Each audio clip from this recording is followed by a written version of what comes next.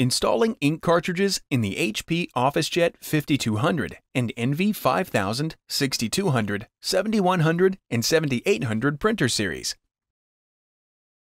Lift the ink cartridge access door and wait for the carriage to stop moving. Remove the tricolor cartridge from its package. Hold the cartridge by its sides to avoid touching the copper-colored contacts and nozzles, and then pull the orange tab to remove the plastic strip. Install the cartridge in its correct slot, tricolor on the left and black on the right.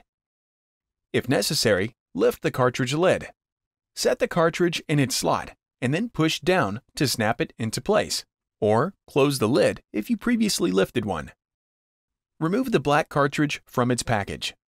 Hold the cartridge by its sides to avoid touching the copper-colored contacts and nozzles, and then pull the orange tab to remove the plastic strip. If necessary, lift the cartridge lid. Set the cartridge in its slot and then push down to snap it into place, or close the lid if you previously lifted one. Close the cartridge access door, and then on the printer control panel, touch OK to confirm.